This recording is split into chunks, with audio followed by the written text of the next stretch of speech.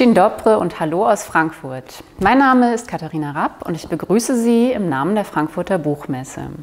Dieses Video ist für alle, die sich für neue deutschsprachige Bücher interessieren, auf Deutsch lesen, Bücher übersetzen oder publizieren. Ich freue mich, dass wir auch in diesem Jahr wieder eine tolle neue Auswahl vorstellen können. Dies ist möglich durch die finanzielle Unterstützung des Auswärtigen Amts. Ganz besonders danke ich meinen Kolleginnen Elsbieta Jelen vom Goethe-Institut und der großartigen Übersetzerin Anna Kiriewska. Ich wünsche Ihnen viel Vergnügen bei diesem deutsch-polnischen Dialog und bin gespannt auf Ihr Feedback. Damit übergebe ich an meine Kolleginnen ins Goethe-Institut nach Krakau. Dzień dobry, witam Państwa bardzo serdecznie w Instytucie Goethego w Krakowie. Nazywam się Elżbieta Jeleń, kieruję działem Informacja i Biblioteka i zajmuję się promocją literatury niemieckiej i przekładem. Razem z moją gościnią, Anną Kierejewską, którą bardzo serdecznie witam i zaraz Państwu przedstawię, opowiemy Państwu o książkach, które tym razem zgromadziłyśmy wokół czterech tematów. Zaczynamy tematem kobiety. Książki pisane przez kobiety, książki, ale nie tylko dla kobiet. Ale wcześniej obiecane przedstawienie mojej rozmówczyni, Anna Kierejewska, tłumaczka, recenzentka. Od 10 lat para się już tłumaczeniami. Skończyła Uniwersytet Warszawski, Uniwersytet w Bonn. Państwo może znają ją z przekładów takich autorów jak Ferdinand von Schirach albo e, Volker Kutscher. I pierwsza książka, o której będziemy rozmawiać, to książka Dity Zipfel, Wie der Wahnsinn mir die Welt erklärte, co można by przetłumaczyć jak szaleństwo objaśniło mi świat. Bardzo ciekawa autorka, rocznik 81, wykonywała różne zawody i jak sama o sobie pisze, sprzedawała frytki na wyspie Sylt, popcorn w kinie, buty w Berlinie, warzywa w Hamburgu, doiła krowy na Majorce, a była potem nauczycielką. Obecnie pisze książki, sztuki teatralne, scenariusze, a książka, o której będziemy rozmawiać, w 2020 roku przyniosła jej nagrodę dla najlepszej książki dla dzieci i młodzieży. Nagrodę imienia Paula Mara, stypendium dla młodych i obiecujących autorów książek dla młodych czytelników oraz stypendium miasta Hamburg. Została też wybrana jedną z 25 najpiękniej opracowanych graficznie książek niemieckich w roku 2020. Aniu, o czym jest to tytułowe szaleństwo? Ojej, w tej książce jest bardzo dużo szaleństwa i w zasadzie można by wymieniać długo, ale myślę, że można by się skupić przede wszystkim na naszej głównej bohaterce, na Lucy. Jej życie to w zasadzie jest istne szaleństwo. Życie w jednym e, domu z mamą, z bratem e, i z nowym chłopakiem mamy. I e, Lucy już ma tak wszystkiego po dziurki w nosie i stresów z mamą i kłótni z bratem. Nowego chłopaka mamy, to już lepiej pominąć. E, że postanawia, że jedzie do Berlina, e, do byłej partnerki mamy i e, tylko musi zebrać pieniądze na tą podróż i na to mieszkanie w Berlinie. Więc musi znaleźć pracę. I traf chciał, że w supermarkecie widzi ogłoszenie. Ktoś daje ogłoszenie, że potrzebuje osoby do wyprowadzenia psa, do opieki nad psem. Więc Lucy niewiele myśląc, uznając to, że trafia po prostu szóstkę w totolotka, zgłasza się y, do ogłoszeniodawcy. Ogłoszeniodawcą się okazuje taki starszy, y, przedziwny pan, y, który już od progu budzi ogromne takie, ogromną nieufność, ale Lucy jest zdeterminowana, bo przecież musi wyjechać do Berlina. Pan się okazuje o tyle, o tyle dziwny, że w zasadzie nie chodzi mu o wprowadzanie psa, gdyż ten pies już dawno nie żyje, tylko chce napisać książkę kucharską. Książkę kucharską to kolejny szalony punkt, o tyle dziwną, że to jakby ma być książka kucharska z magicznymi przepisami. Znaczy te przepisy na te potrawy mają magiczną moc. Więc yy, w zasadzie, gdzie nie spojrzeć, tam jest odrobina szaleństwa w tej książce. To książka o byciu innym. Troszkę wspomniałaś o tym, opowiadając o Lucy i jej rodzinie, jak również o pracodawcy Lucy. A kto jest innym w tej książce? No w zasadzie poza, y, poza Lucy, która jest trochę wyjątkowa przez to też, w jakiej rodzinie y, się wychowuje. Y, oczywiście pan Klinge, czyli pracodawca Lucy, który jest przedziwnym człowiekiem i trochę nie wiadomo dlaczego chce napisać tą książkę, co to ma być za książka i cały czas ma jakieś, jakieś manie prześladowcze. Wydaje mi się, że ktoś go śledzi i ma wobec niego złe zamiary. Innym, znaczy innymi, innymi jest e, inną osobą, znaczy wyjątkową może to jest lepsze słowo. E, można też nazwać e, Bernie, czyli tą osobę, do której chce pojechać Lucy do Berlina. To jest była partnerka mamy, osoba, znaczy dorosła osoba inna, zupełnie inna niż te dorosłe osoby, które Lucy ma w swoim otoczeniu albo które znała, z którą wyczyniały najgłupsze zabawy, rozbijały namiot y, w salonie albo hodowały rybki w wannie, w łazience y, i którą też y, Lucy darzy ogromną sympatią. Inny też trochę jest, tudzież wyjątkowy jest nowy partner mamy, Michael. Taki człowiek bardzo ekscentryczny, taki trochę z zacięciem ezoterycznym może, taki, którego, znaczy Lucy zupełnie nie może go jakby znaczy nie, nie może nawiązać z nim e, za bardzo, e, za bardzo relacji, gdyż też e, Misi ma w sobie taką cechę, że wszystko widzi bardzo pozytywnie i wszystko jest zawsze takie fantastyczne i cudowne. I zupełnie to się nijak ma do rzeczywistości, którą widzi Lucy. Ta książka mówi o, porusza wiele problemów istotnych dla nastolatków.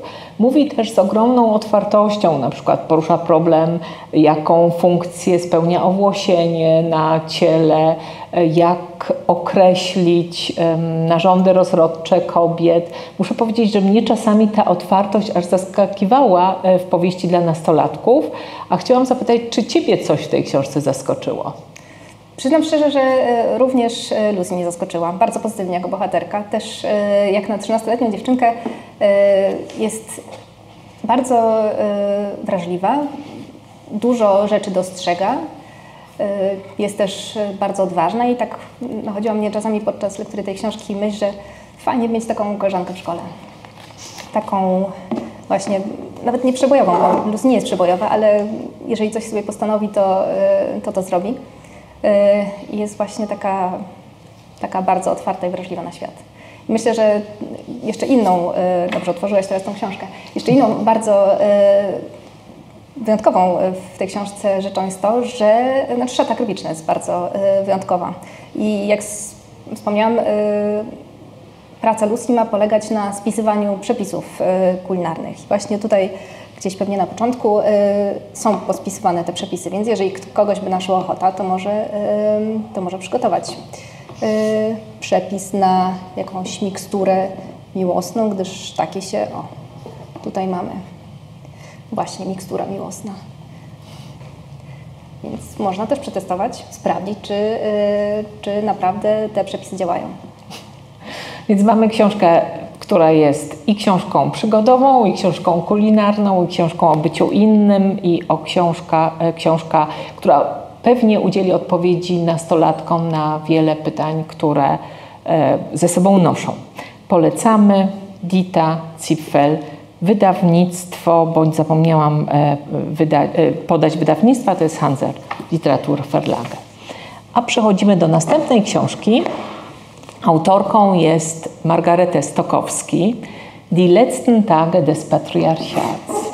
Magdalenę Stokowski o zna, znajomo brzmiącym dla nas nazwisku faktycznie urodziła się w Polsce, ale już jako dwuletnie dziecko wyjechała z rodzicami do Niemiec.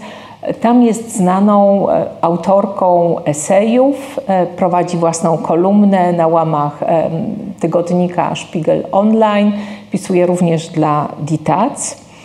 I książka, o której e, dzisiaj krótko Państwu opowiemy, jest zbiorem jej felietonów z lat 2011-2018, które ukazały się właśnie na łamach Spiegel Online i TAC i ukazała się w wydawnictwie Rowold. A co jest ciekawe, ta książka ukazała się w 2018 roku, ale doczekała się już siedmiu wydań. I czy ten czas 2011-2018 faktycznie w Niemczech można uznać za zmierzch patriarchatu? Myślę, że to bardzo śmiała teza i raczej y, trochę za wcześnie, żeby mówić o, y, o zmierzchu czy ostatnich dniach patriarchatu. Myślę, że Margareta Stokowski też y, uznała to jako, wzięła ten tytuł trochę jako prognozę na przyszłość. To znaczy jest y, to kierunek, w którym zmierzamy, my w sumie w Polsce tak samo. Ale jesteśmy jeszcze, myślę, że kawałek drogi od tego celu. Ale co też y, jakby, co też uświadomiłam sobie podczas lektury tej książki, w sumie jakby obserwując i wydarzenia w Niemczech i aktualne w Polsce, y, zmiana dokonuje się na naszych oczach. W sensie jakby ten patriarchat trochę, trochę znaczy, no, patriarchat trochę traci na sile.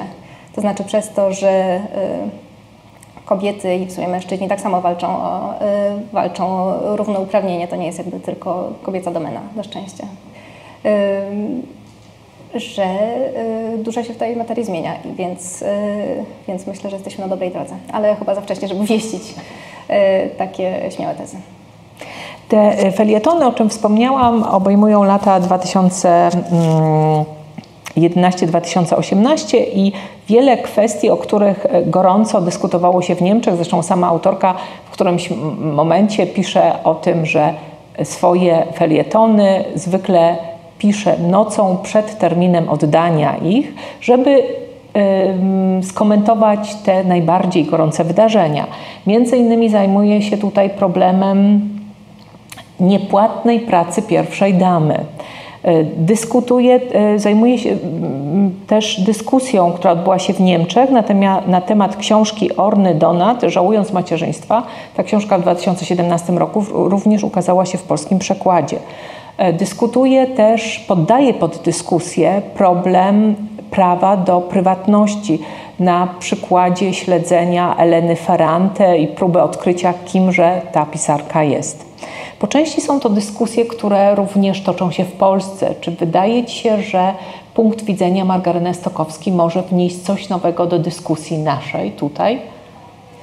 Y, myślę, że zdecydowanie tak, chociaż y, myślę, że główną wartością, znaczy poza y, jakby całą merytoryką, która, która się znajduje w tych felietonach, jest to, że Margareta Stokowski podchodzi do tematu z ogromną dozą humoru i dystansu co w tych dyskusjach, które często są obarczone niestety ogromnymi emocjami, często bardzo negatywnymi, jest bardzo wartościowe.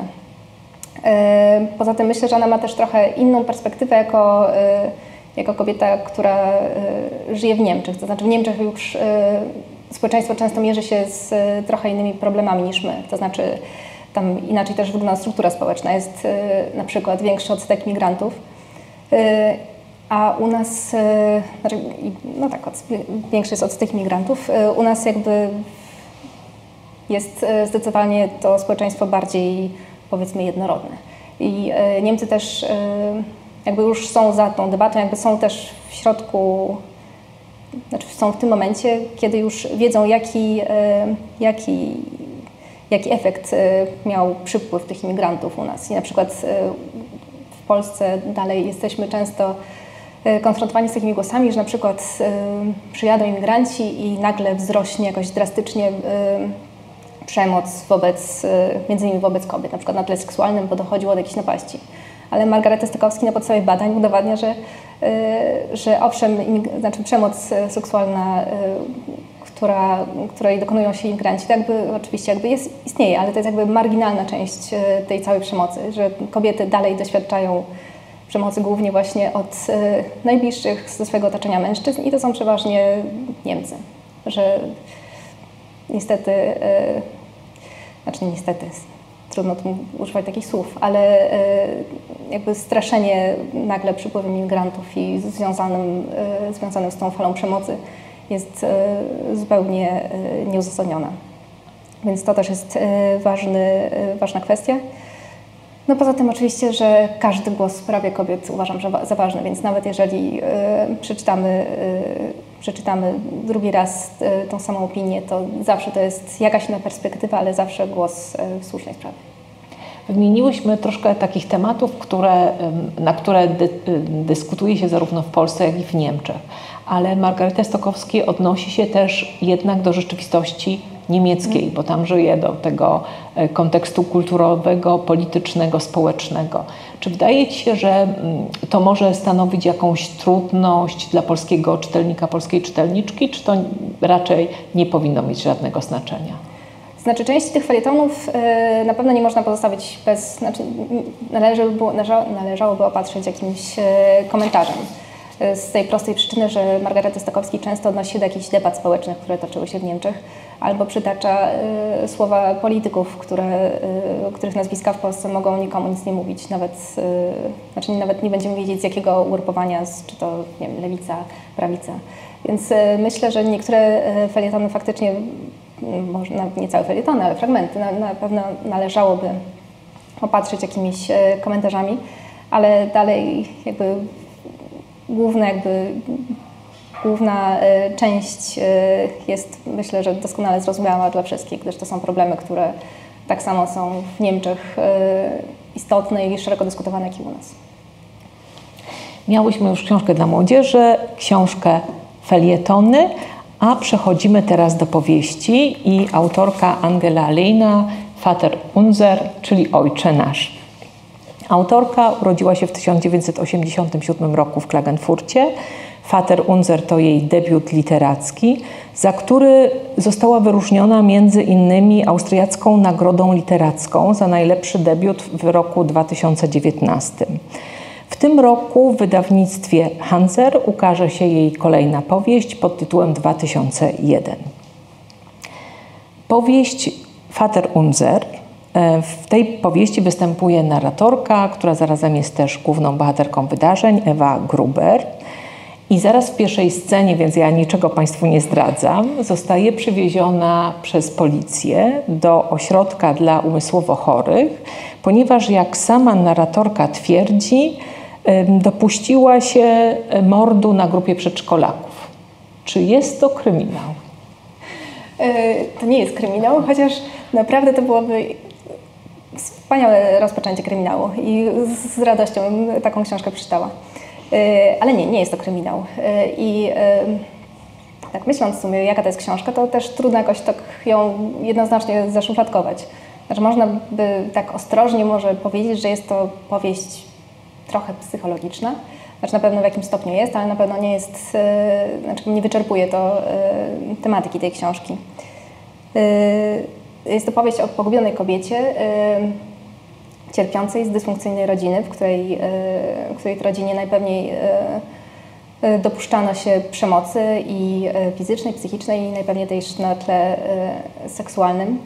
Tak, więc myślę, że to powieść, znaczy no trudno faktycznie uchwycić jakimś takim jednym, jednym słowem ale na pewno nie kryminał. Y, o, to, to, to zdecydowanie nie. nie. Mimo, że oprócz e, tego mordu, o którym wspomniałam na początku, pojawia się jeszcze zamysł zabójstwa ojca czy popełnienia samobójstwa, więc tych zdarzeń takich krwawych jest trochę w tej książce. I zastanawiam się, czy e, to może spowodować, że czytelnik się pogubi, albo może ta mnogość różnych wydarzeń sprawia, że nie możemy się od tej książki oderwać. Jak myślisz? Faktycznie z tą książką y, jest trochę tak, że jest w niej mnóstwo niedopowiedzeń.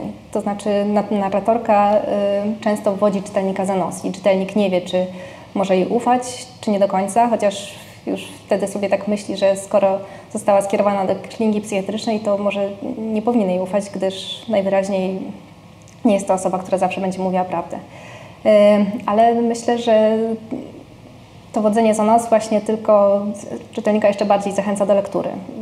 Tak, myślę sobie, że z tą całą książką, znaczy z, treść, znaczy z fabułą tej książki jest trochę jak z okładką.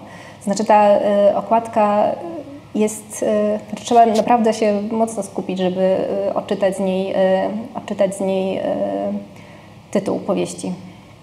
Jest No nie Trzeba jest... wytężyć wzrok mocno, tak. Nie jest taka oczywista. I nawet jeżeli wytężymy wzrok i wydaje nam się, że odczytaliśmy już ten tytuł, to dalej nie mamy pewności, czy to właśnie jest to, co być powinno. I trochę właśnie też z fabułą tej książki, że nawet jeżeli nam się coś wydaje, to nie do końca powinniśmy być tego pewni. Ale myślę, że to jest właśnie to jest ten element właśnie, który bardzo czyni tę książkę tak ciekawą. Już sam tytuł Ojcze Nasz jest pewnym odwołaniem, pewnym tropem, e, który faktycznie sprawdza się w tej książce. Religijność e, rodziny e, odgrywa dużą rolę. Główna bohaterka dorasta w małej wiosce u podnóża Alp w destrukcyjnej, bardzo religijnej rodzinie. Czy widzisz w tym nawiązanie do tropów typowych dla powojennej literatury austriackiej? Mam tutaj na myśli Bernharda albo Jelinek.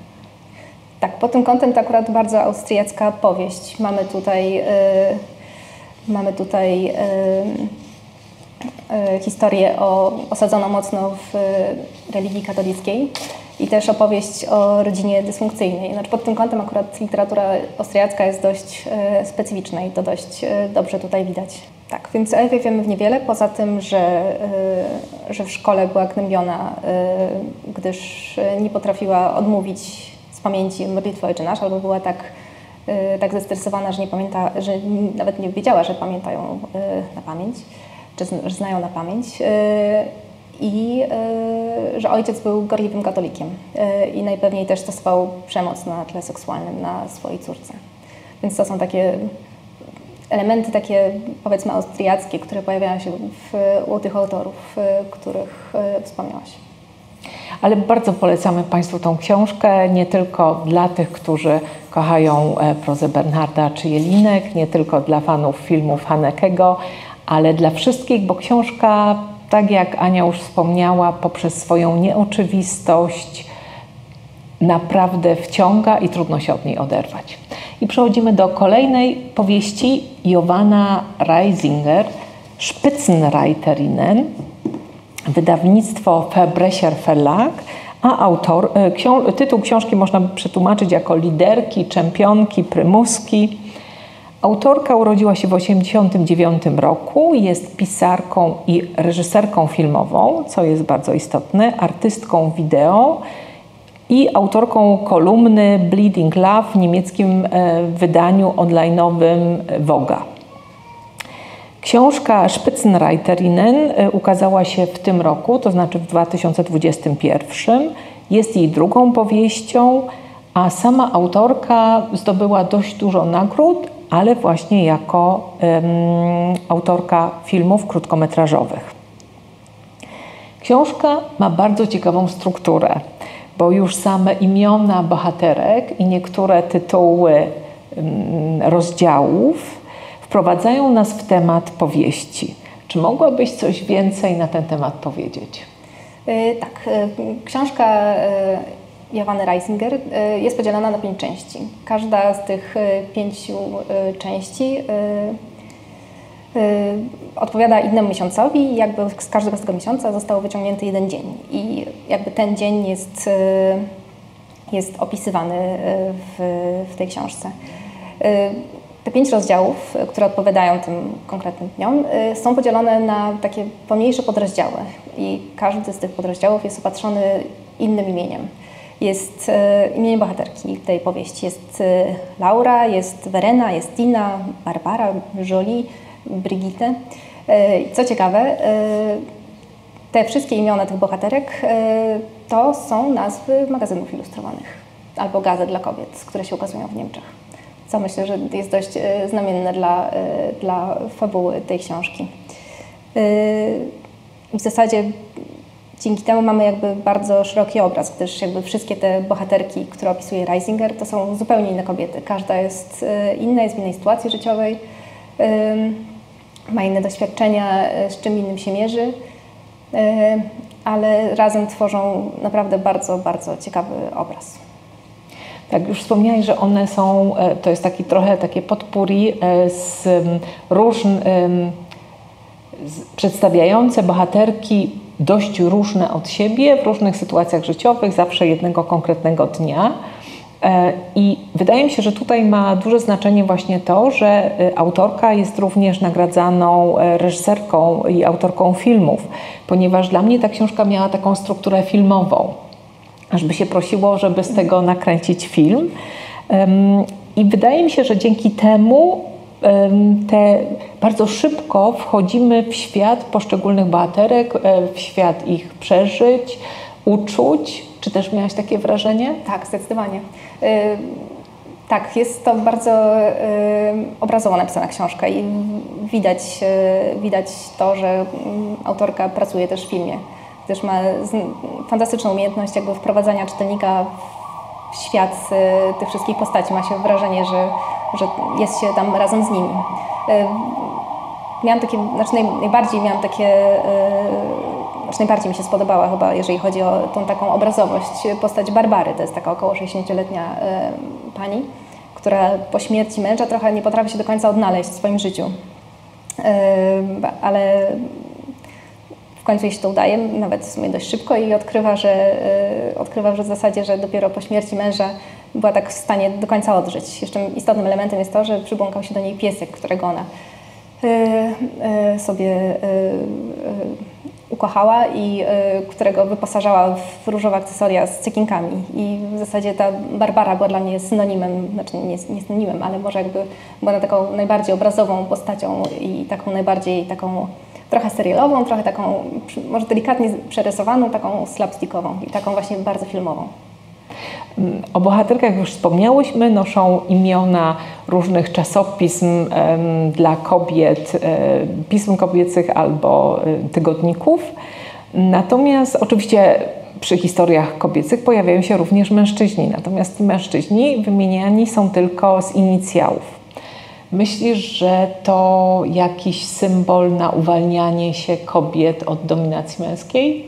Oj, zdecydowanie. To jest powieść właśnie o tym, że kobiety są w stanie, powinny, znaczy może nie powinny, znaczy jeżeli chcą oczywiście, uwalniać się od e, męskiej dominacji i y, że doskonale sobie radzą same, nie potrzebują do niczego mężczyzn. Przy czym akurat, y, akurat y, nie wiem, czy się zgodzisz ze mną, ale wydaje mi się, że te imiona kobiet mogą być równie dobrze można by zastąpić je innymi, e, innymi imionami. To nie jest tak, że możemy, musimy się przywiązywać do tego, że Laura nazywa się Laura, Tina się nazywa Tina. Że te imiona i te, e, te inicjały są bardzo wymienne, powiedzmy. Że to są tylko takie figury, powiedzmy, pokazujące różne, różne warianty, różne, różne losy kobiet. Tu się zgadzam całkowicie, że można by te bohaterki zupełnie inaczej nazwać, a muszę nawet powiedzieć, że podczas lektury próbowałam sobie odnaleźć e, tygodniki e, prasy kobiecej wydawanej w Polsce. No i niestety stwierdziłam, że e, to na pewno będzie świetne wyzwanie dla tłumacza bądź tłumaczki, bo w Polsce y, te gazety bądź czasopisma nazywają się Chwila dla Ciebie, Dobre Rady, Naj, Pani Domu, Poradnik Domowy albo Uroda, Wysokie Obcasy, Klaudia. Więc albo Twój styl. Więc tutaj pewnie widziałabym pewną trudność, a y, to, że one się tak nazywają jak te y, tygodniki czy czasopisma kobiece, wydaje mi się, że dodaje szczególnego smaczku, co nie oznacza, że ta książka na pewno nie przyjęłaby się na polskim rynku wydawniczym i tylko pozostaje nam je polecić. Tak, jest. tak jak pozostałe wcześniej już omówione książki. Bardzo dziękuję. Teraz rozmawiałyśmy, zakończyłyśmy nasz punkt z książek związanych z tematyką kobiecą, a chciałabym jeszcze dodać, że te rekomendacje powstają we współpracy z targami książki we Frankfurcie. Dziękuję bardzo. Dziękuję.